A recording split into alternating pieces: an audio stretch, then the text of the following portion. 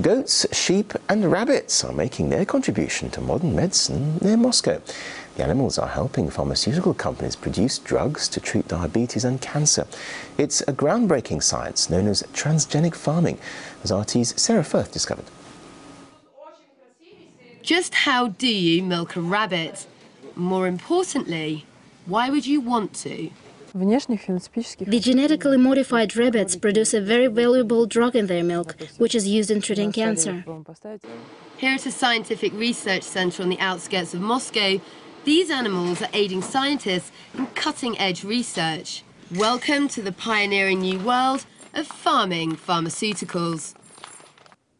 This is where the animals are kept. Now, these ones are ordinary rabbits, but if we go through into the next room, and you've got the transgenic or genetically modified ones. Now, it's these guys that are proving so vital in the discovery and development of new treatments for diseases.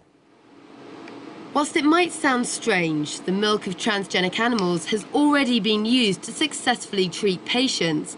And it's not just rabbits. Around the world, traditional farming is now morphing into biofarming.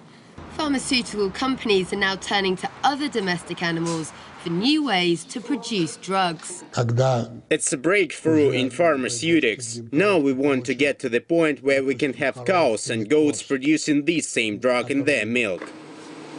At the moment, this research centre doesn't have the funding to produce more than a few other genetically modified species but rabbits remain their main source of research. Regulatory bodies in the EU and the US are slowly starting to allow drugs produced by transgenic animals onto the market. But it's slow progress. In Russia especially, a lack of guidelines and solid regulation in this area mean it remains a controversial issue. We feel that playing with genes could be dangerous for animals when people haven't fully studied all the hereditary mechanisms. From cute pets to resource providers, as biofarming continues to grow, what these guys produce could soon very well end up in your medicine cabinet.